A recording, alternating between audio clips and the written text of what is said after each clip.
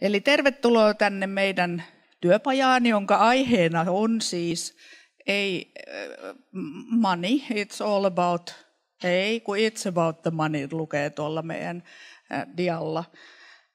Eli ajatuksena on se, että keskustellaan tasa-arvoisen yhteiskunnan mittareista ja sukupuolitietoisesta budjetoinnista erityisesti. Ja meitä istuu täällä edessä kolme ihmistä. Mä olen Hanna Onvenhuma tasa-arvoyksiköstä sosiaali- ja terveysministeriöstä. Sitten täällä on Anna-Mari Asikainen, kollegani samasta paikasta, eli sosiaali- ja terveysministeriöstä.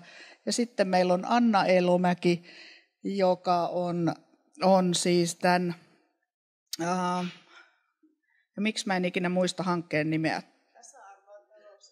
Tasa-arvoa talousarvioon hankkeesta ja, ja ajatuksena, että, että käydään sitä hanketta vielä vähän tarkemmin tässä läpi. Mutta me ajateltiin tehdä tämä niin, että ää, mä ensin kertoisin siitä, että miten, vähän niin kuin tarinaa siitä, että miten tämä nykymuotoinen sukupuolitietoinen budjetointi, jota me valtiohallinnossa tehdään, että miten me siihen päädyttiin. Sen jälkeen Anna-Mari esittelee sitä ää, lyhyesti sitä että mi, mitä, mitä tällä hetkellä tehdään, eli mitä valtioneuvostossa, mitä ministeriöt tekee sukupuolinäkökulmasta, kun ne tekee ministeriöiden budjetteja ja talousarvioita.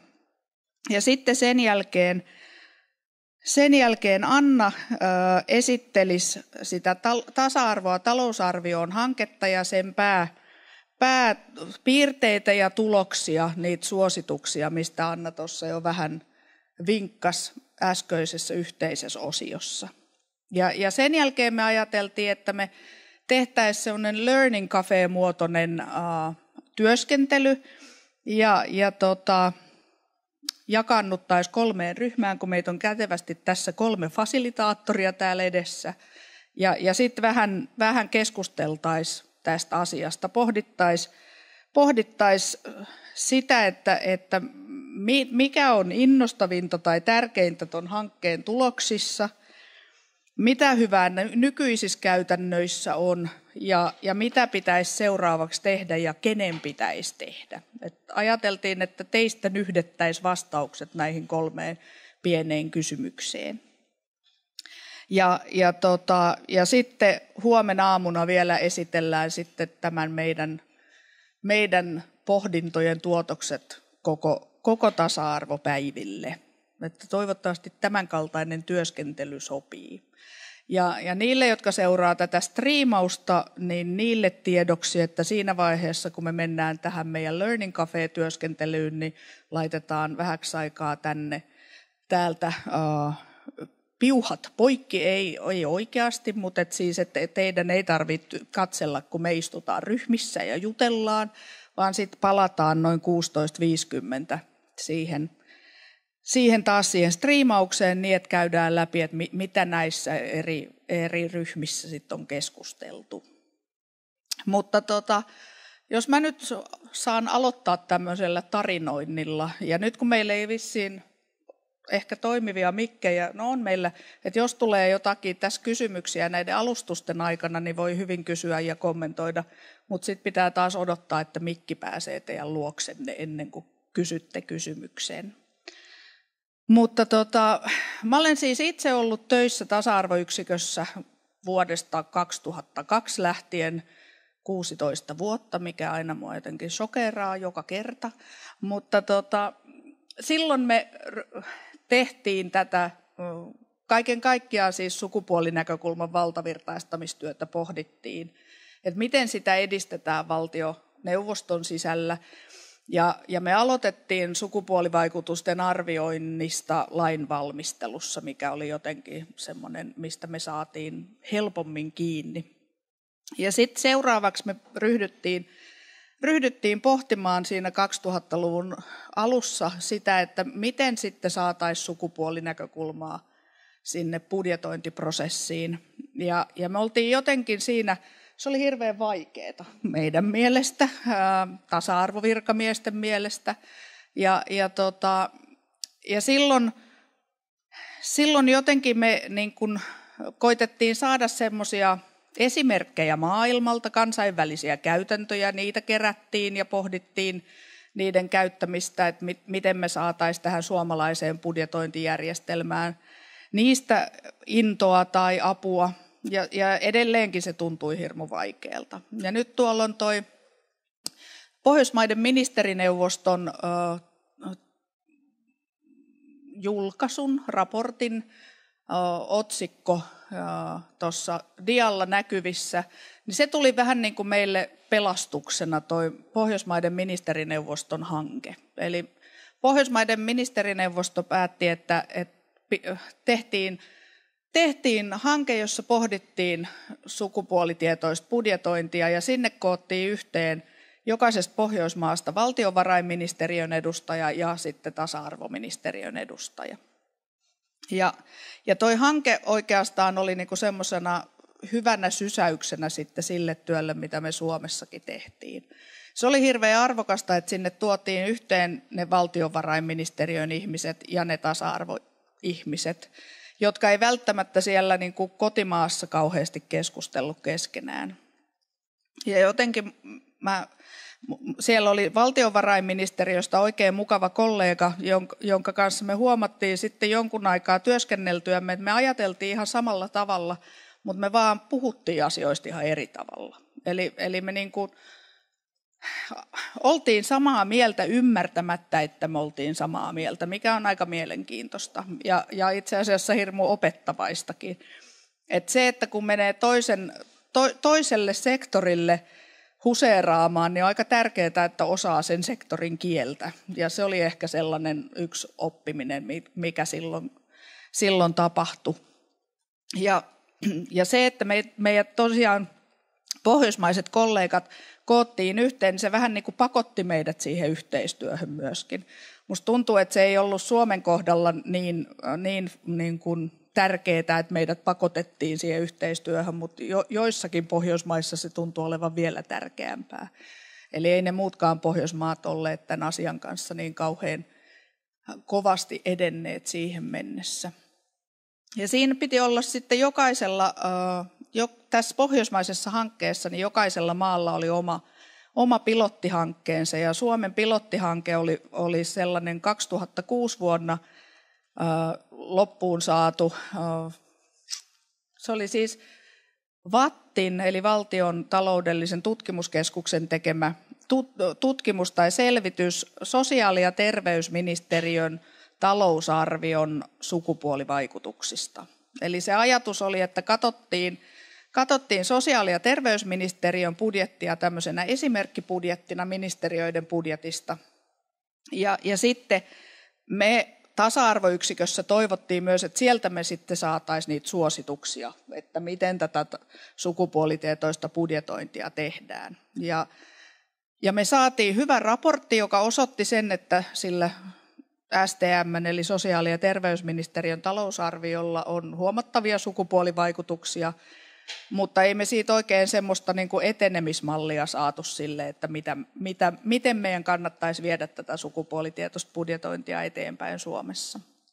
Mutta sen, sen, tämän pohjoismaisen hankkeen myötä me, me tota, saatiin kuitenkin siihen apuja ja, ja tuossa on sitten se No niin, Anna-Mari vähän näytti jo tämmöistä pientä tiisausta, mutta, mutta sen, sen hankkeen jälkeen sitten me käytiin valtiovarainministeriön kanssa keskusteluja asiasta. Eli, eli sosiaali- ja terveysministeriö ja valtiovarainministeriö sitten neuvotteli siitä, että miten, miten me saataisiin tämä asia Suomen budjetointiin mukaan. Ja, ja siinä oikeastaan niin kuin käytiin läpi myöskin sitä Ruotsin tapaa tehdä, tehdä asiaa, eli Ruotsilla oli, oli liite, jossa niillä oli sukupuolivaikutuksia arvioitu. Ja, ja me Suomessa ajateltiin, että jos me halutaan oikeasti valtavirtaistaa sitä sukupuolinäkökulmaa eh, siihen budjettiprosessiin, niin me päädyttiin siihen, että me ei haluta mitään liitettä. Että me haluttiin se sukupuolinäkökulma sinne, sinne talousarvioesitykseen mukaan. Ja sitten kun me siinä kohtaa verrattiin itseemme aika paljon Ruotsiin, niin tuli just aika konkreettisesti esiin se, että miten se koko budjettiprosessi ja se tapa tehdä sitä vaikuttaa asiaan. Että kun meillä on Suomessa budjettikirja, joka on ehkä näin paksu, tämmöinen hirveän, se, minusta se on hirveän paksu keltainen mötikkä, vai onko se enää keltainen? No, niin, niin Ruotsilla niitä samanlaisia mötiköitä on 22. Eli se niin kuin tekstin määrä, mitä siellä Ruotsissa muutenkin tungetaan sinne budjettiin, on aika paljon, siis noin 22-kertainen, jos, jos tästä suoraan vetää johtopäätöksiä. Mutta meillä Suomessa sitten taas on koitettu pitää se budjettikirja mahdollisimman lyhyenä ja ytimekkäänä. Ja, ja yksi ongelma oli se, että me haluttiin sinne siis lisää jotain tietoa, kun kaikki muut on sieltä karsineet tietoa. Ja tämän, tämänkin vuoksi siitä sitten käytiin neuvotteluja. Kuitenkin oli hirveän tärkeää jo silloin meidän mielestä se, että siinä oli valtiovarainministeriö mukana, koska valtiovarainministeriö on se ministeriö, joka ohjeistaa meidät muut ministeriöt tekemään sitä budjettia, tekemään oman talousarvioesityksemme. Ja näin sitten käytiin näitä neuvotteluja ja, ja, ja tota, se, mihin silloin päädyttiin, oli sitten tämmöinen yhteenveto, se, että jokainen ministeriö – on velvollinen tekemään yhteenvetotarkastelun sukupuolivaikutuksiltaan merkittävästä talousarvioesitykseen liittyvästä toiminnasta. Ja se pitäisi jokaisen ministeriön merkitä sinne pääluokkaperusteluihinsa. Nyt mä puhuin aika hyvin mun mielestä tämmöistä talousarviokieltä, eikö vain? Joo, ja, ja mä oon oppinut. Ja, ja se, että silloin siinä neuvottelussa päädyttiin siihen, että se tulee osaksi sitä valtiovarainministeriön määräystä, jonka valtiovarainministeriö joka vuosi lähettää muille ministeriöille, niin oli silloin meidän mielestä ensiarvoisen tärkeää. Sitten me myöskin sen jälkeen, kun päädyttiin tähän, että, että tällainen merkin tai tällainen tulee sen määräyksen osaksi, niin me myöskin sitten tasa-arvoyksiköstä käytiin keskustelemassa kaikkien ministeriöiden talouspäälliköiden kokouksessa. Eli tavallaan koulutettiin ministeriöiden talouspäälliköt siihen, että mitä tämä tarkoittaa. Ja ajatus oli silloin jo se, että, että eihän ne talousarvioihmiset, ne talousihmiset siellä ministeriössä voi tuottaa sukupuolinäkökulmaa johonkin asiaan, ellei se ole siellä valmistelussa jo mukana. Eli silloin se Esimerkiksi lakien sukupuolivaikutusten arviointi on ihan ehdottoman tärkeää. Mutta että ne, ajatus oli se, että ne meidän talouspäälliköt tiimeineen olisi vähän niin kuin sellaisia vahtikoiria, jotka sitten sanois niille sisältöihmisille siellä ministeriössä, että hei, että muistatteko myöskin tämän, tämän sukupuolinäkökulman tässä asiassa.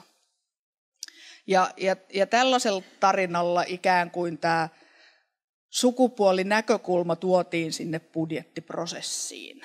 Ja Anna-Mari nyt sitten jatkaa siitä, että kuinka sitten kävikään, eli mikä tämä nykyinen tilanne on. Kiitos Hanna. Minusta tarina on aina, aina yhtä herkullinen, kun mä kuulen tänne, että mä oon tullut vähän myöhemmin tasa-arvoyksikköön töihin. Ja, ja, ja tämä tuntuu tietysti kauhean ancient history, 2000-luvun alku ja 2000-luvun puoliväli, mutta, mutta, mutta muutokset tapahtuu aika hitaasti loppujen lopuksi. Ja mä kerron vähän siitä, mitä, miten me ollaan nyt sitten tuettu ja seurattu tätä sukupuolinäkökulman valtavirtaistamista talousarvioon tähän hyvän VM ja STM yhteistyöhön perustuen ja siihen, siihen, siihen kirjaukseen perustuen, siihen määräykseen perustuen. Ja tuossa te näette sen nyt Hanna osaa sen ulkoa tosi hienosti tämä yhteenvetotarkastelu sukupuolivaikutuksiltaan ja niin edelleen. Ja se on siinä teille kirjattuna. Ja se mun mielestä kauniisti kertoo sen, mitä valtavirtaistamisessa tehdään, että ei mennä eri polkuja, vaan sinne, sinne sisään siihen varsinaiseen ohjeistukseen, missä muutenkin sitä prosessia ohjeistetaan, niin sinne sisällytetään ne sukupuolten tasa-arvon edistämisen määräykset myös. Ja tämä minusta hienosti tarjoaa tämän keskeisen paikan tässä budjetissa ja talousarvioesityksessä siihen, että ministeriöt voi tuoda tämän sukupuolivaikutuksen tästä budjetista esiin osana tätä talousarvioesitystä. sitten me ollaan tietysti tuettu tätä, niin kuin Hanna sanoi, niin neuvottelemaan talouspäälliköiden kanssa ja, ja tota, sit toisaalta myös erilaisilla koulutuksilla – ja, ja tota, Äh, esimerkiksi tämä sukupuolisilmälaiset hankkeet vuosina 2008 ja 2011 oli ihan keskeisiä meille. Äh, siitä tehty ohjekirja ja me ollaan tarjottu tämmöistä räätälöityä tukea ja koulutusta ministeriöille myös. Äh, mutta se, että me saataisiin niin talousihmisiä nimenomaan koulutettua sukupuolivaikutusten arvioinnissa, niin se ei ollut niin helppoa. Ehkä meidän koulutus ja tuki on ollut vähän yleisempää valtavirtaistamiskoulutusta, mutta joka tapauksessa ministeriöt on voinut saada siihen tukea ja mutta, mutta sitten se seuranta on ehkä ollut se kaikista keskeisin asia, että kun me on pystytty seuraamaan sitä, että miten ministeriöt sitten ää, tätä määräystä toteuttaa, ja siitä ollaan keskusteltu ministeriöiden kanssa, niin se on ehkä ollut se, se keskeisin tukitoimi, mitä on voinut olla. Mutta joka tapauksessa nämä matkan varrella olleet hallituksetkin on, on halunnut kiinnittää tähän huomiota ja eri hallitusohjelmissa on ollut erilaisia – Äh, tai hallituksen tasa-arvo-ohjelmissa eri hallituksilla on ollut kirjauksia tähän sukupuolinäkökulman valtavirtaistamiseen liittyen ja erityisesti tähän budjetin äh, suvaukseen myös sukupuolitietoisen budjetoinnin kehittämiseen. Ja, ja tää, tällä nykyisellä Sipilän hallituksella niin todellakin on tämä kirjaus, että halutaan, ää, tai toimenpide, että tasa-arvo-ohjelmassa, että sukupuolitietoista budjetointia kehitetään, ja siitä johtuen meillä on tämä hieno TEAS-hanke ollut ää, tasa-arvoa talousarvioon. Ja se, se paljolti tuli siihen tasa-arvo sen takia, että, että paine kansalaisjärjestöiltä ja tutkijoilta oli, oli tosi kova silloin ää, hallituksen alkumetreillä. Ja se on hyvä, se on hieno saavutus, että me saatiin tämmöinen toimenpide sinne.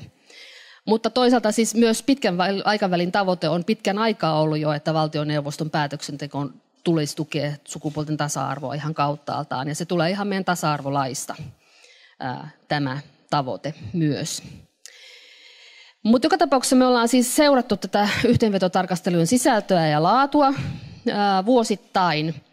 Ja tämän seurannan tarkoituksena, pääasiallisena tarkoituksena on nimenomaan tämä, että, että, että se tukisi sitä kehittämistyötä. Että me voidaan katsoa ministeriöiden kanssa yhdessä, että miten kukin ministeriö on äh, eri vuosina äh, onnistunut siinä yhteenvetotarkastelussa, miten paljon sieltä tulee ja sitten me kerätään se tieto, mitä sieltä tulee, niin, niin myös ää, päätöksentekijöille ja muun muassa eduskunnan ää, valiokunnissa käydään kertomassa sitä, miltä se näyttää se budjettiesitys sukupuolten tasa-arvon näkökulmasta. Ää, tässä on tapahtunut kehitystä, eli, eli mulla on tietoja varmaan sieltä 2007 lähtien, mutta, mutta sitten nyt ihan täsmällisempiä tietoja sitten tästä 2010 lähtien. Ja esimerkiksi tuossa vielä 2012 ja 2014 niin vain puolet ministeriöistä teki tämän yhteenvetotarkastelun. Ää, ja sitten toisaalta nyt tänä vuonna 2019 budjetissa kaikilla ministeriöillä on semmoinen yhteenvetotarkastelu.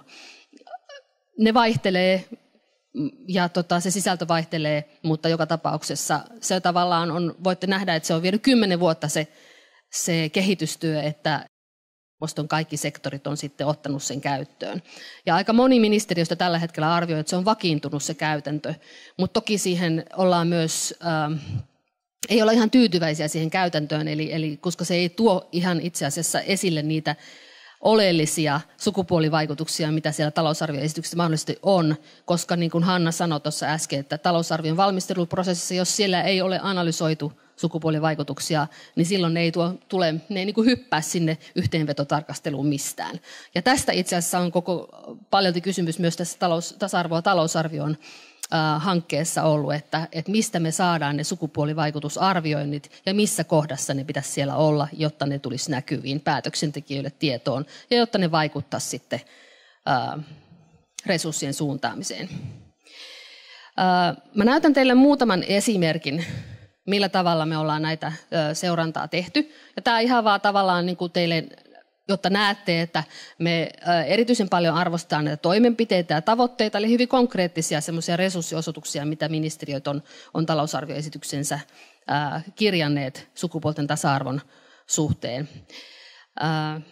Mutta me myös annetaan pisteitä. Me ollaan kehitty semmoinen kymmen, kymmenen pisteen indikaattori, jossa saa pisteitä siis siitä, että on, on, on mainintoja, on yhteenvetotarkastelu, ylipäänsä otettu esiin tämä sukupuolinäkökulma – ja jos siellä on niitä tavoitteita ja toimenpiteitä, niin se on vielä parempi.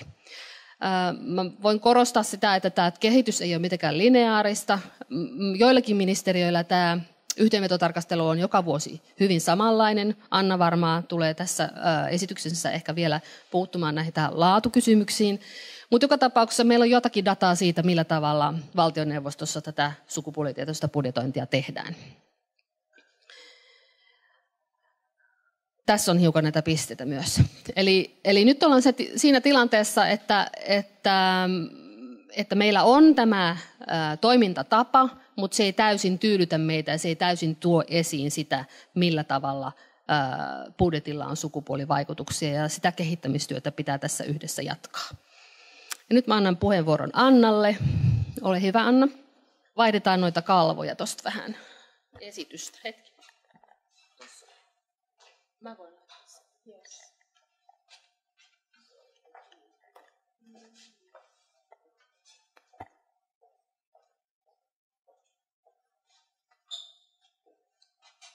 Yes. Mä oon pahoillaan kaikkien niiden puolesta, jotka on kuunnellut jo tämän hankkeen tuloksista useamman kerran, koska ne tulokset ei ole muuttuneet. Mutta siitä huolimatta niin mun mielestä on tärkeää puhua sukupuolitietoisesta budjetoinnista ja tehdä sitä käsitettä tunnetummaksi. Ei näykään. Ehkä se tulee. Yes. Ei näy. No joo, no Mä voin aloittaa jotenkin yleisesti tässä sillä aikaa. Eli mä, mä ensin tota, sanoisin ihan pari sanaa tästä hankkeesta, että mitä me ollaan tehty ja miksi. Ja sen jälkeen sitten puhuisin vähän sukupuolitietoisen budjetoinnin käsitteestä. Eli koitin vähän avata, että mistä on kysymys ja tekisin tämän hyvin konkreettisesti kertomalla siitä, mitä muissa maissa tehdään. Ja sitten lopuksi puhuisin sitten siitä, että mikä voisi olla se sukupuolitietoisen budjetoinnin Suomen malli, mikä se on tällä hetkellä ja mikä se voisi olla tulevaisuudessa. Eli niin kuin tuli sanottua, niin tämä tasa talousarvion hanke oli tosiaan VNTS-rahoitteinen. Se tehtiin valtiovarainministeriön ohjauksessa, mutta myös Anna-Mari esimerkiksi oli siinä meidän ohjausryhmässä mukana.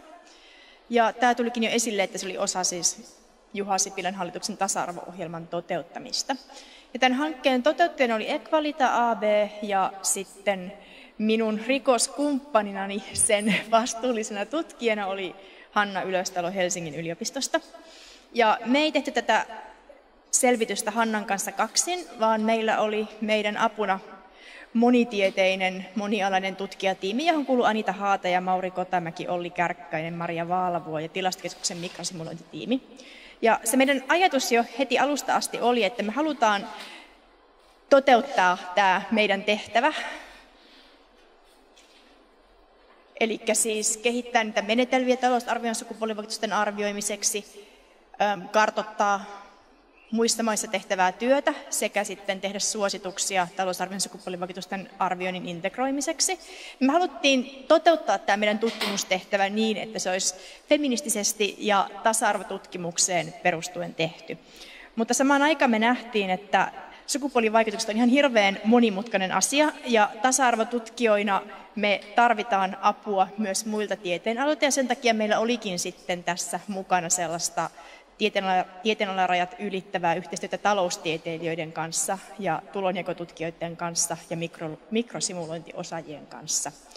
Ja ainakin meidän näkökulmasta yksi tämän hankkeen semmoinen tutkimuksellinen tulos tai anti on nimenomaan just tällaisen yhteistyön ähm, lisääminen. Koska tasa-arvotutkijat ja taloustieteilijät ja mikrosimulointiosaajat yleensä istuu omissa poteroissa, niin tällaista rajat ylittävää keskustelua on tosi vähän. Ja kuitenkin just tällainen monitieteinen lähestymistapa on tavallaan se keino päästä eteenpäin.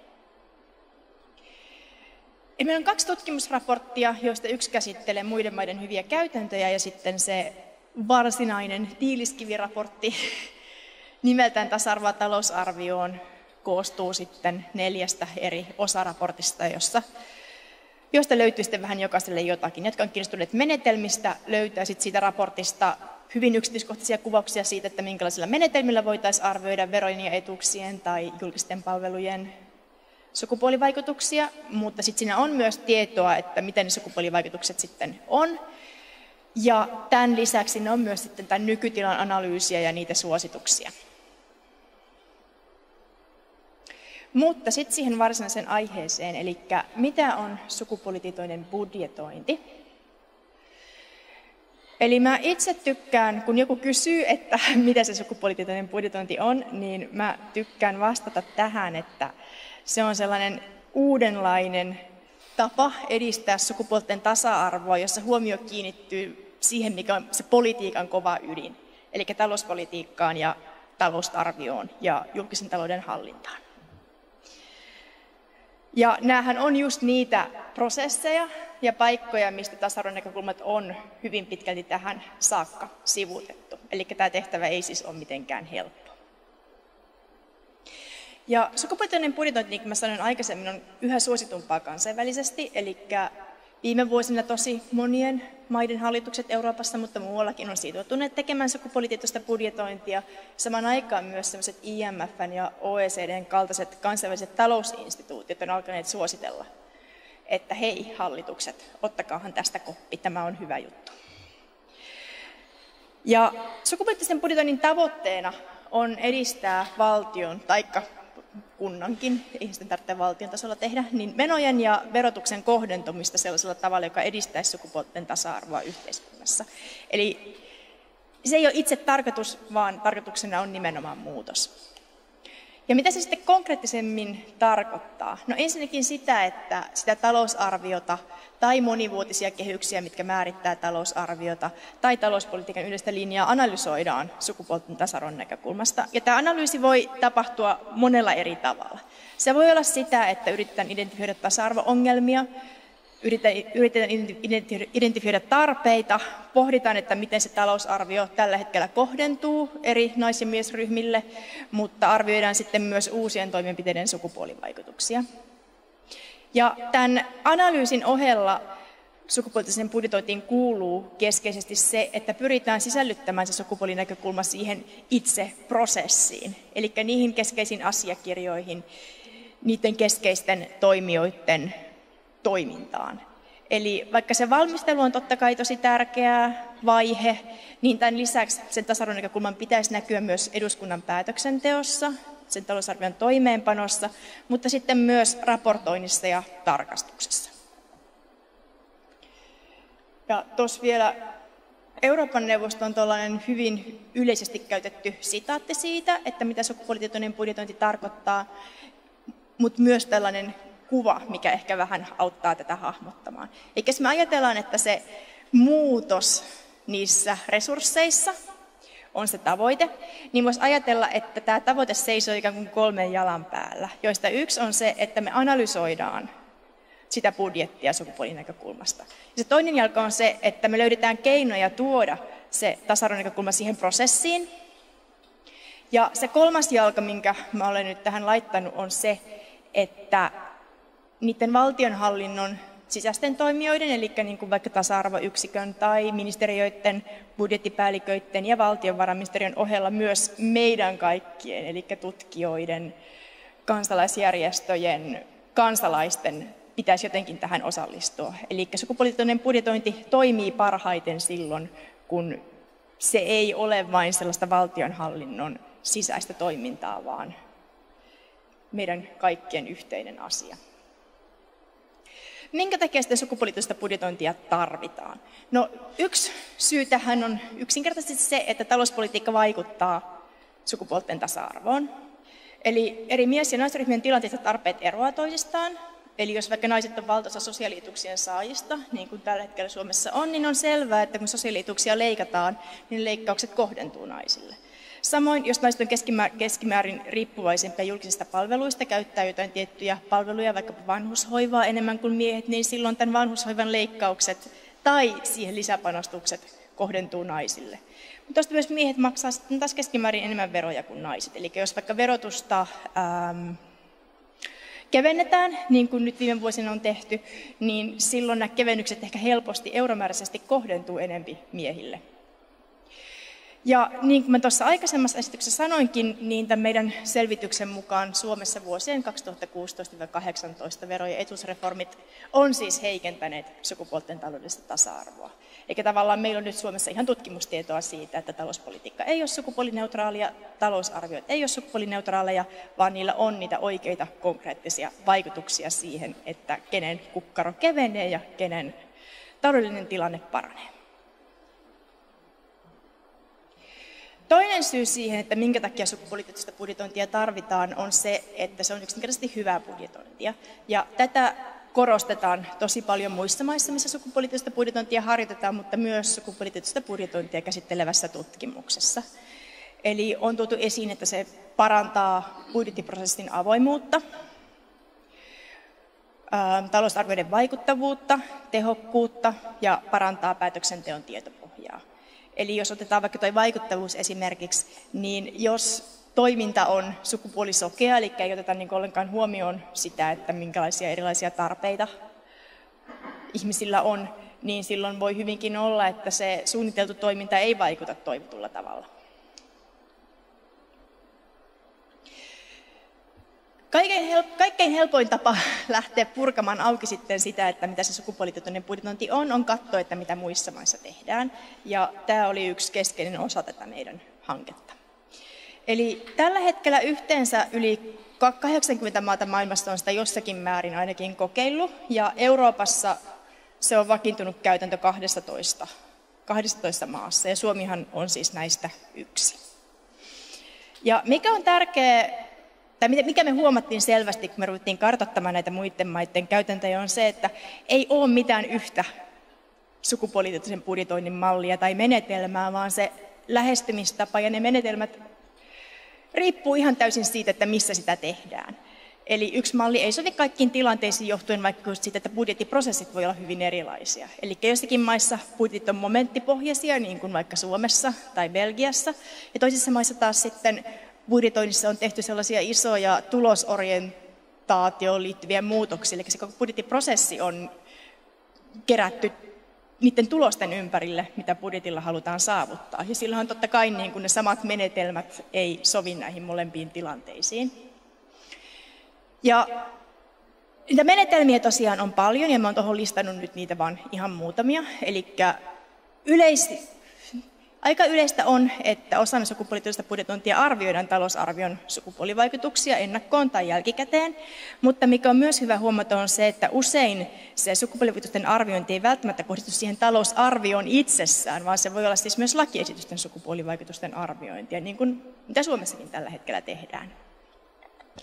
Kyse voi olla siitä, että asetetaan tasa-arvotavoitteita ja toimenpiteitä, luokitellaan budjetin osia tasa-arvorelevanssin mukaan, tai tehdään sitten sellaisia budjetin tasa-arvoliitteitä, mistä Hanna jo tuossa mainitsikin. Tai vaikkapa vain tunnistetaan niitä tasa-arvon edistämisen määrärahoja sieltä budjetista. Ja mä avaan tätä nyt vähän antamalla kolme sellaista ihan konkreettista esimerkkiä siitä, että miten, miten sukupuolityötä budjetointia tehdään. Ja näissä kaikissa kolmessa esimerkissä Ruotsi, Belgia ja Itävalta, niin se lähestymistapa ja se keskeinen menetelmä on eri. Eli Ruotsissa sukupuolitietoinen budjetointi keskittyy sukupuolivaikutusten arviointiin. Ja sen perustana on valtiovarainministeriön budjetinlaadintaohjeet. Ja mitä sillä tehdään, on periaatteessa kaksi eri asiaa. Eli yhtäältä ministeriöt kun ne suunnittelee sitä budjettiaan ja laittaa sinne niitä uusia esityksiä, joilla ne haluaa sitten valtiovarainministeriltä rahaa, niin ne tekee näistä uusista esityksistään ja uusista ajatuksistaan sukupuolivaikutusten arvioinnin, minkä ne täyttää sellaiselle lomakkeelle, jonka ne lähettää sinne valtiovarainministeriön yhdessä sen oman budjettiehdotuksensa kanssa. Ja valtiovarainministeriö, kun se päättää, että mitkä ehdotukset saa rahaa ja mitkä ei, niin se katsoo näitä sukupuolivaikutusten arviointeja. Ja meidän tekemien haastattelujen mukaan, koska tasa-arvo on hallitukselle prioriteetti, niin sillä on merkitystä siinä resurssien jaossa että onko ministeriöt tehneet näitä sukupuolivaikutusten arviointeja ja hankkeet, joilla on tasa-arvoa edistäviä vaikutuksia, saattaa tulla jopa priorisoiduksi. Ja toinen asia, mitä Ruotsista tehdään, on, että valtiovarainministeriö arvioi sen koko talousarvion uusien esitysten tulonjakovaikutuksia kokonaisuudessaan. sitten osana sitä budjetin valmistelua. Ja Ruotsissa on siis myös semmoinen budjetin tasa-arvoliite, joka tuotetaan joka vuosi. Se on sellainen 40-sivuinen kirjainen, mistä löytyy tietoa näistä tulojakovaikutuksista, mutta myös kaikenlaista tietoa taloudellisesta tasa-arvosta, seurantatietoa ja muuta. Belgiassa on sitten käytössä vähän erilainen lähestymistapa, jossa ideana on se, että budjettien, budjetin eri momentit luokitellaan niiden momenttien tasa-arvorelevanssin mukaan. Eli kun virkamies jossain ministeriössä alkaa valmistella sitten sitä oman ö, alansa budjettia, niin sen pitää sitten miettiä tai luokitella se momentti, jota se valmistelee. Eli onko tämä momentti ei-relevantti tasa-arvolle, onko tämä momentti relevantti tasa-arvolle, onko tällä alalla jotain mahdollisia sukupuolivaikutuksia. Ja se kolmas luokka, mikä pitää ottaa huomioon, on se, että onko tämä momentti sellainen, mistä rahoitetaan tasa-arvoa edistävää toimintaa suoraan. Ja riippuen siitä, että mikä luokka valitaan, niin sitten sen virkamiehen pitää siinä valmistelussa sitten tehdä jotakin. Eli jos vaikka se virkamies havaitsee, että jaa, että tämä momentti on nyt sellainen, että tästä rahoitetaan tasa-arvoa edistävää toimintaa, sen pitää kirjata se summa mahdollisimman tarkasti lomakkeelle ja lähettää se lomake valtiovarainministeriöön. Jos taas se virkamies identifioi sen momentin tasa-arvorelevantiksi, sen pitää kirjoittaa sellainen yhden kappaleen mittainen lyhyt teksti, missä se perustelee sen, että miksi tämä on tasa-arvorelevantti ja miettii myös vähän sitä, että mitenkä tasa-arvoa voisi tämän momentin rahoittamassa toiminnassa edistää. Ja tämä pieni kuvaus on sitten osa sitä valtion budjettia, tai sitä budjettikirjaa. Ja kolmantena Itävalta, jossa se lähestymistapa keskittyy tasa-arvotavoitteiden ja toimenpiteiden ja indikaattoreiden asettamiseen. Eli Itävallassahan on sellainen tulosorientoituneen budjetoinnin systeemi, jossa ministeriöt asettaa osana budjettiprosessia itselleen tulostavoitteita, mitä sitten seurataan. Ja yhden jokaisen ministeriön tulostavoitteista täytyy liittyä sukupuolten tasa-arvoon, ja niiden ministeriöiden täytyy myös asettaa toimenpiteitä, millä tätä tavoitetta voitaisiin saavuttaa, ja indikaattoreita, joilla edistymistä voidaan mitata. Itävaltahan käytetään usein esimerkkinä maasta, missä sukupuolista budjetointia tehdään hyvin, mutta niiden meidän haastattelujen mukaan tämä ei kyllä välttämättä pitänytkään paikkansa. Eli mitä tästä Itävallan esimerkistä voi kantapään kautta oppia on se, että tavoitteiden asettaminen on tosi tärkeää. Se vie tavallaan huomioon niistä talousarvion mahdollisista negatiivisista vaikutuksista siihen, että miten se talousarvio voisi edistää tasa-arvoa. Mutta ei ole ihan sama, että mitä ne tavoitteet on. Eli ne Itävallan budjetin tasa-arvotavoitteet on sillisalatti, missä ei ole mitään punaista lankaa. Ministeriöt saa asettaa just tällaisia tavoitteita, kun ne haluaa, ja just niin mitättömiä toimenpiteitä kuin ne haluaa. Ja ne tavoitteet ei ole missään yhteydessä toisiinsa, eikä minkäänlaisiin kansallisiin tasa-arvotavoitteisiin. Eli jotain opittavaa hyvässä ja pahassa näistä kaikista kansainvälisistä esimerkkeistä. Kun me analysoimme niitä muiden maiden käytäntöjä, niin me niiden perusteella johdettiin sitten viisi oppia sen Suomen mallin kehittämiseen. Ja näistä ensimmäinen liittyy siihen, että miten niitä talousarvion sukupuolivaikutuksia pitäisi arvioida. Ja me tultiin siihen tulokseen näiden muiden maiden käytäntöjen perusteella, että tarvitaan kahdenlaista arviointia. Tarvitaan niitä tulonjakolaskelmia, mitkä tarjoaa semmoisia helppoja numer- numerisia, euromääräisiä tuloksia, mihin poliitikkojen ja median on helppo tarttua, mutta saman aikaan tarvitaan semmoista syvällisempää sukupuolittunutta rakenteita ja niiden muutosta ymmärtävää, kuvailevampaa arviointia.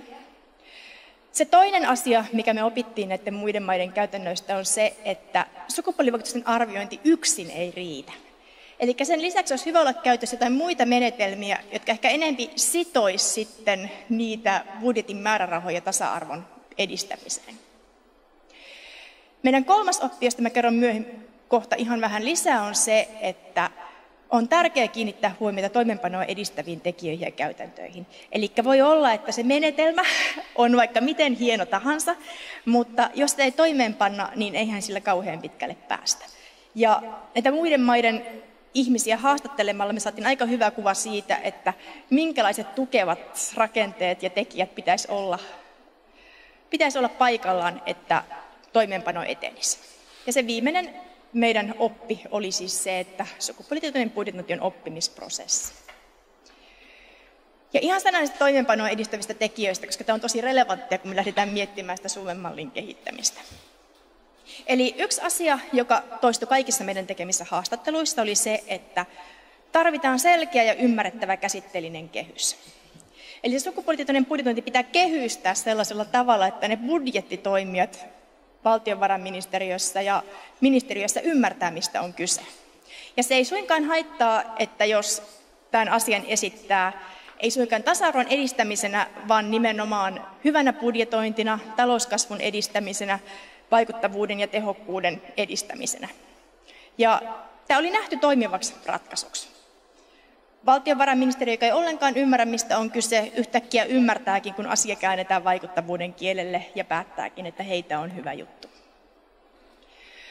Toinen sellainen, joka ikisessä haastattelussa, joka ikisessä esimerkki maassa toistunut asia oli se, että poliittinen tahto ja johtajuus on elintärkeää. Ja tästä oli erityyppisiä esimerkkejä. Vaikka Ruotsissa sukupuolitietoinen budjetti oli kirjattu hallitusohjelmaan ja pääministeri ja muutkin ministerit on siitä avoimesti julkisuudessa puhuneet. Ja usein nimenomaan se pääministerin tai valtiovarainministeriön näkyvä tuki identifioitiin sellaiseksi asiaksi, mikä oli oikeasti vienyt sitä sukupuolitietoista budjetointia eteenpäin. Ja tähän liittyvä kolmas pointti oli se, että valtiovarainministeriön tuki nähtiin ihan elintärkeäksi. Eli Joissain maissa tasa-arvoviranomaiset on vastuussa sukupuolitietoisesta budjetoinnista, niin kuin vaikka Belgiassa. Ja näyttää, että tässä, näissä tapauksissa se toimeenpano jää vähän pinnalliseksi. Että tavallaan olisi tärkeää, että se taho, joka muutenkin vastaa budjetista, ottaa sitä sukupuolitietoisesta budjetoinnista kopin. Ja tämän lisäksi korostettiin, että tarvitaan vahva velvoittava perusta, että tarvitaan sitä tasa-arvotoimijoiden ja taloustoimijoiden välistä yhteistyötä, että hallinnon ulkopuolisia toimijoita, niin kuin kansalaisjärjestöjä ja tutkijoita, on tärkeää osallistaa niin, että kriittiset äänet tulee kuuluvaksi, koska kun on töissä valtionhallinnossa, ei voi olla kauhean kriittinen. Eli vaikka näkisi selkeästi, että jollakin tietyllä toimenpiteellä on negatiivisia sukupuolivaikutuksia, ei siihen lakiesityksen perusteluihin voi kuitenkaan kirjoittaa ihan mitä tahansa. Eli tarvitaan niitä ulkopuolisia ääniä nostamaan epäkohtia esiin.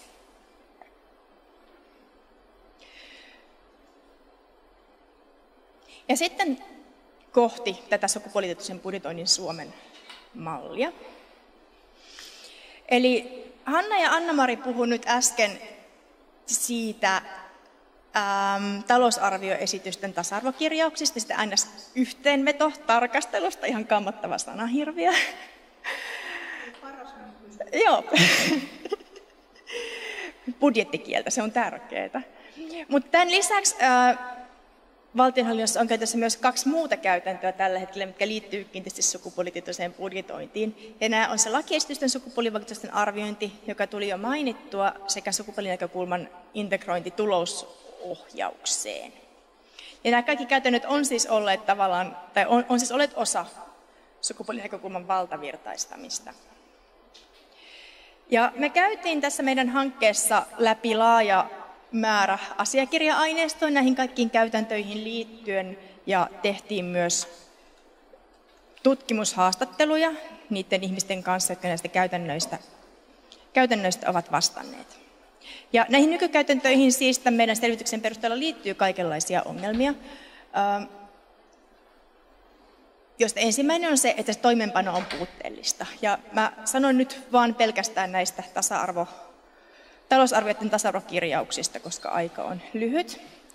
Eli niin kuin Anna-Mari sanoikin, niin tätä velvoitetta sisällyttää tämä yhteenvetotarkastelu kyllä periaatteessa noudatetaan, mutta ministeriö tulkitsee tämän vaatimuksen tosi eri tavoin ja ne tasa-arvokirjaukset on tosi erityyppisiä. On joukko ministeriöitä, jotka kierrättää vuodesta toiseen samaa tekstiä.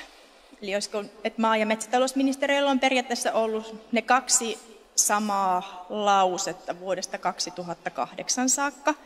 Siihen taidettiin lisätä vuonna 2011 kolmas lause. Ja tavallaan tämä saman tekstin kierrättäminen kertoo siitä, että tätä tasa-arvokirjausta ja sen tekemistä ei nähdä tärkeänä. Se kertoo myös siitä, että ei ole mitään aika mustakaan pohtia niitä siihen budjettiin liittyviä uusia esityksiä sukupuolinäkökulmasta. Ja toinen ongelma näissä kirjauksissa on se, että niillä ei välttämättä ole kauheasti yhteyttä niihin ministeriön hallinnolan sisäisiin kysymyksiin. Eli tosi monet ministeriöt pohtii näissä tasa-arvokirjauksissa henkilöstön tasa-arvoon liittyviä asioita. Ja ne lupaa valtavirtaistaa, ne lupaa tehdä toiminnallisen tasa-arvosuunnitelman, ne lupaa tehdä sukupuolivaikutusten arviointeja, mutta niissä on hirveän vähän tietoa siitä, että mitä ne kysymykset sillä hallinnon alalla on, missä tasa-arvo on relevantti. Se kolmas ongelma on se, että näistä kirjauksista ei tosiaan niitä sukupuolivaikutuksia varsinaisesti arvioida. Eli STM taisi nyt tässä tämän vuoden budjetissa olla ainut, tai ensi vuoden budjetissa ainut ministeriö, joka oli edes yrittänyt nostaa siinä kirjauksessa esiin sellaisia uusia toimenpiteitä siinä budjetissa, millä voisi olla sukupuolivaikutuksia. No, näiden toimeenpano-ongelmien lisäksi on kaikkia muitakin ongelmia tässä nykytilanteessa, josta yksi on se, että nämä kolme käytäntöä ei ole yhteydessä toisiinsa. Eli on ihmisiä, jotka tekevät näitä tasa-arvokirjauksia, on ihmisiä, jotka tekevät niitä lakiesitysten sukupuolivaikutusten arviointeja, ja on ihmisiä, mitkä pohtii tulosohjausta. Mutta nämä ihmiset ja niiden tekemä työ ei koskaan kohtaa. Ongelma on tosiaan myös se, että se suora yhteys niihin sisällöllisiin tasa-arvokysymyksiin puuttuu, ja tämä näkyy paitsi siinä talousarvioiden tasa-arvokirjauksessa, niin myös lakiesitysten, lakiesitysten sukupuolivaikutusten arvioinnissa ja tulosohjauksessa. Yhtenä ongelmana on myös valtiovarainministeriön pieneksi jäänyt rooli. VM on kyllä ollut mukana, mutta se ei ole ottanut näistä käytännöistä varsinaisesti vastuuta. Ja isona ongelmana tämän meidän hankkeen kannalta nähtiin myös, että sen talousarvion sukupuolivaikutuksia ei siis varsinaisesti arvioida. Eli kun sukupuolivaikutuksia Suomessa arvioidaan, niin se arviointi kohdistuu yksittäisiin lakiesityksiin ja se kokonaisuus sen hallituksen toimenpiteiden kokonaisuus tiettynä vuonna, niin se jää piiloon. Ja se arviointi tapahtui myös ihan liian myöhäisessä vaiheessa. Eli kun me arvioidaan lakiesitysten sukupuolivaikutuksia, niin se päätös siitä, minkälainen toimenpide tehdään, on yleensä tehty jo tosi pitkä aika sitten. Sillä arvioinnilla on ihan hirveän vähän mahdollisuuksia tämän takia vaikuttaa enää mihinkään. Ja se kolmas ongelma tästä oli se, että niitä tulonjakovaikutuksia ei tosiaan sukupuolinäkökulmasta arvioitu. Kun me lähdettiin miettimään sitä, että mikä tämä sukupuolisen budjetoinnin Suomen malli olisi, niin äh, yksi sellainen meidän ähm, Yksi iso idea, mikä meille tässä prosessissa tuli, oli se, että meidän pitää katsoa sitä vuotuista talousarviota laajemmin. Ja niinpä tämän meidän mallin kohteena onkin se, mitä me ollaan kutsuttu laajaksi talousarvioprosessiksi, johon me luetaan hallitusohjelma, julkisen talouden suunnitelma, valtion budjetti, budjettilait ja tulosohjaus. Ja miksi näin? Yksinkertaisesti sen takia, että on tosi tärkeää ottaa se sukupuolinäkökulma huomioon myös niissä prosesseissa, jotka asettaa ehdot sille talousarviolle.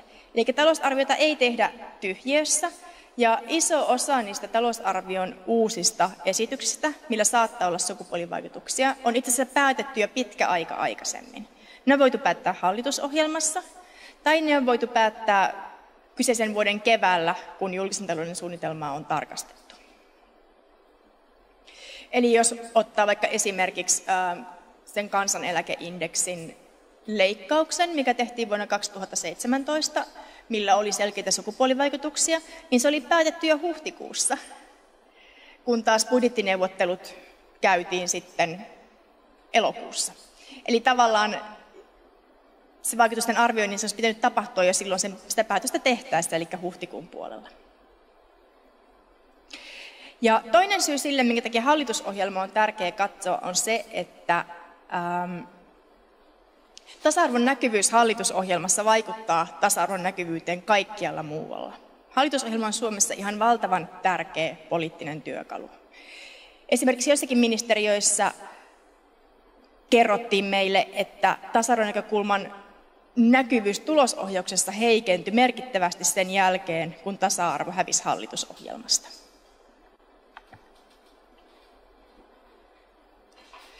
Ja me tehtiin sitten tältä pohjalta viisi semmoista laajaa suositusta sukupoliittisen budjetoinnin kehittämiseksi Suomessa. Ja ensimmäinen näistä suosituksista oli se, että lanseerataan se sukupuolitietoisen budjetoinnin käsite. Koska tosiaan, vaikka meillä tehdään sukupuolitietoista budjetointia, meille ei ole aikaisemmin puhuttu sukupuolitietoisesta budjetoinnista valtionhallinnossa. Ja totta kai uuden käsitteen lanseeraamisessa on aina riskinsä, mutta meidän mielestä tämä kannattaa sen takia, että tämä kansainvälinen nostetten käsitteen ympärillä olisi tärkeää hyödyntää. Nykyiset käsitteet, valtavirtaistaminen, myös tunnetaan huonosti niiden taloustoimijoiden keskuudessa. Ja tämä sukupuolitietoinen budjetointi käsitteenä on ehkä helpompi kääntää niiden budjetti- ja taloustoimijoiden kielelle kuin vaikka sukupuolinäkökulman valtavirtaistamisesta puhuminen. Ja tätä käsitettä lanseerattaessa on ensiarvoisen tärkeää, että selvennetään, mistä on kyse, miksi sitä tehdään ja ennen kaikkea, että mitä hyötyä siitä on. Ja tämä kehystys sen pitää tosiaan tapahtua tavalla, että budjetitoimijat sen ymmärtää. Meidän toinen suositus on se, että sukupuolitietoinen budjetointi pitäisi kytkeä tasa-arvotavoitteisiin. Eli niin kuin aikaisemminkin tuli ilmi, niin tällä hetkellä ne, ne nykykäytännöt jää aika irrallisiksi ja pinnallisiksi just sen takia, että sitä yhteyttä niihin sisällöllisiin kysymyksiin ei ole. Eli me ehdotettaisiin, että ensinnäkin meidän täytyisi selkeyttää kansalliset tasa-arvotavoitteet, joita tällä hetkellä on vaikka asetettu valtioneuvoston tasa-arvoselonteossa, mutta myös hallitusten tasa-arvo-ohjelmissa. Ja meidän pitää varmistaa, että tosiaan on sellaiset pitkän tähtäimen selkeät tavoitteet, jotka voi ohjata yksittäisiä hallitusohjelmia, jotka voi ohjata hallitusten tasa-arvo-ohjelmia, mutta joita voidaan myös hyödyntää, kun arvioidaan lakiesitysten sukupuolivaikutuksia. Koska on hyvin vaikea arvioida sukupuolivaikutuksia, jos ei ole ymmärrystä siitä, mitä tasa-arvo tarkoittaa. Tämän ymmärryksen puute johtaa helposti siihen, että tasa-arvo ymmärretään samanlaisena kohteluna sen sijaan, että se ymmärrettäisiin vaikka hoivavastuun jakamisen edistämisenä tai segregaation purkuna. Ja näkee paljon sellaisia lakiesitysten sukupuolivaikutusten arviointeja, missä vaikka todetaan vain, että, no, että tämä laki kohtelee miehiä ja naisia samalla tavalla, niinpä sillä ei ole sukupuolivaikutuksia, mutta ei sitten mennä siihen sisältöön sen tarkemmin. Ei vaikka ymmärretä, että jos lakiesitys leikkaa sellaista sosiaalietuutta, jonka saajista naiset on valtaosa, niin silloin tällä on sukupuolivaikutuksia, koska se heikentää silloin nimenomaan naisten taloudellista asemaa.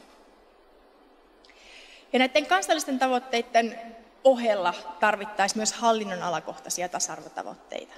Ja nämä hallinnonalakohtaiset tavoitteet saataisiin tuotua esille niissä talousarvioiden tasa-arvokirjauksissa ja tulosohjauksessa.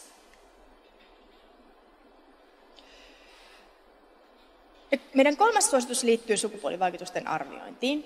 Ja se tarkoittaa sitä, että sukupuolivaikutusten arviointi kannattaisi laajentaa siitä lainvalmistelusta siihen koko talousarvioprosessiin. Ja tämän, tämä on tärkeää sen takia, että näin saataisiin huomio kääntymään niistä yksittäisistä lakiesityksistä sen koko hallituksen politiikan kokonaisuuteen, mutta samalla me saataisiin myös aikaistettua sen sukupuolivaikutusten arvioinnin tarpeen selvittämistä ja sitä itse arviointia. Eli se lainsäädäntövaihe on vain yksinkertaisesti liian myöhään. Ja päätökset on tehty aikaisemmin. Viedään sukupuolivaikutusten arviointi siihen hetkeen, sitä prosessia, missä ne päätökset tehdään. Um, me ajateltiin, me suositellaan myös, että sukupuolivaikutusten arvioinnissa kannattaisi tehdä priorisointia. Et vaikka niitä arvioitavia esityksiä voisikin olla hyvin paljon, niin resurssit on hyvin rajalliset. Ja sen takia kannattaa keskittää se sukupuolivaikutusten arviointi niihin kaikkein tärkeimpiin uudistuksiin. Tasa-arvon näkökulmasta tärkeimpiin, mutta myös yleisesti niihin tärkeimpiin yhteiskunnallisiin uudistuksiin. Meidän neljäs suositus käsittelee raportointia. Et sukupuolivaikutuksista ja talousarvion tasa-arvovaikutuksista on tärkeää raportoida. Tämä, tämä tarjoaa tietoa päättäjille eduskunnassa siitä, että mitkä niiden mahdollisten uusien toimenpiteiden sukupuolivaikutukset on, mutta se on myös tärkeää tietoa sidosryhmille eduskunnan ulkopuolella, kansalaisjärjestöille ja tutkijoille. Mutta tämä raportointi sukupuolivaikutuksista ja tasa-arvon edistämistä, se myös vahvistaa hallituksen tilivelvollisuutta. Se pakottaa hallituksen reflektoimaan omaa toimintansa tasa-arvon edistämiseksi osana sitä talousarvioprosessia, osana valtavirtaa.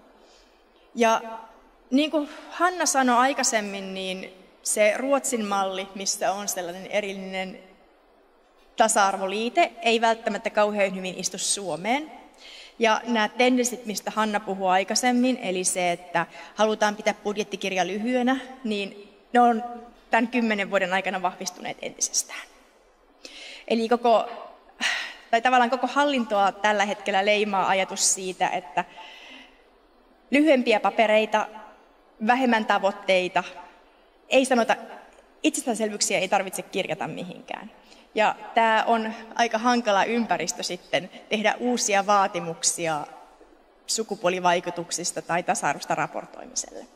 Joten niinpä se meidän ehdotus on, että me vahvistetaan sitä nykyistä jo olemassa olevaa hyvää käytäntöä, eli niitä talousarvioesitysten tasa-arvokirjauksia. Mutta miten niissä sitten pitäisi lukea? No ensinnäkin niitä voisi vahvistaa paikkana, jossa ministeriöt asettaa tasa-arvotavoitteita. Eli jos ministeriöllä olisi ne hallinnon alakohtaiset tasa-arvotavoitteet, tämä talousarvion tasa-arvokirjaus olisi silloin paikka, mihin tämä, missä tämä kerrotaan. Ja jossa sitten voidaan sen talousarvion kontekstissa myös asettaa toimenpiteitä tähän tavoitteeseen pääsemiseksi. Ja tämän lisäksi olisi tärkeää listata ne sukupuolinäkökulmasta merkittävät uudet toimenpiteet sen kyseisen vuoden talousarviossa. Silloin kun ministeriöt niitä, niitä omia ehdotuksiaan tekee, niin päätöksiä siitä, mitä tämän vuoden budjetissa tai kyseisen vuoden budjetissa on, ollaan jo tehty. Näistä jo tehdyistä päätöksistä olisi aika helppo nostaa siihen tekstiin ne tasa näkökulmasta kaikkein merkittävimmät. Tämä olisi samalla myös signaali siitä, että nämä on just ne hankkeet, joissa sukupuolivaikutusten arviointia pitää tehdä, kun se lainvalmisteluvaihe alkaa.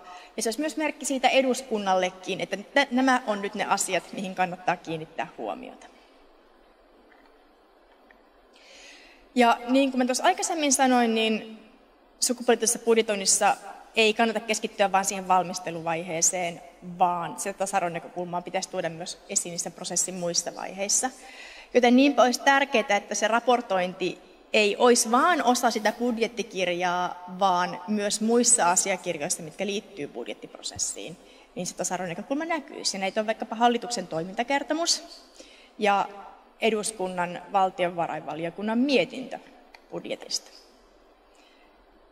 Ei tainnut olla yhtään eduskunnan valtionvarainvaliokunnan mietintöä, jossa tasa-arvo olisi edes sanana mainittu viimeisen kymmenen vuoden aikana.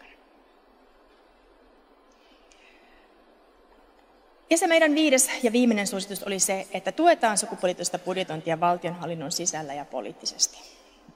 Ja minkä takia näin pitää tehdä? No, ne muiden maiden kokemukset, mutta myös meidän suomalaisten valtionhallinnon toimijoiden kanssa tekemät haastattelut yksiselitteisesti korostaa, miten tärkeää poliittinen tuki ja valtionhallinnon avaintoimijoiden tuki on.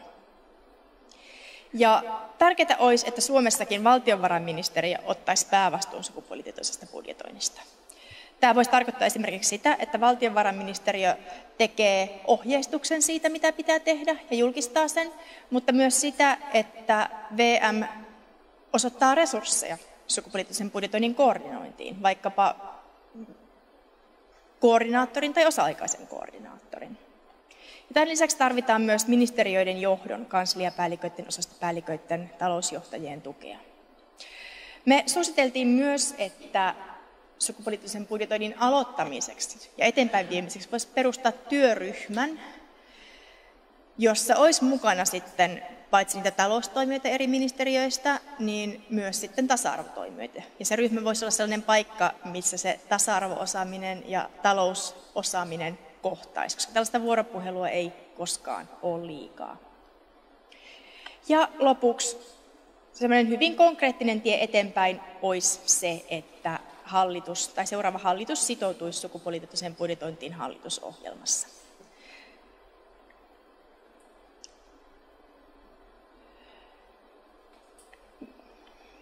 Me mietittiin myös osana tätä meidän, osana näiden meidän suositusten kehittämistä sitä, että ähm, vaikka se hallitusohjelma ja uusi hallitus on totta kai tärkeä,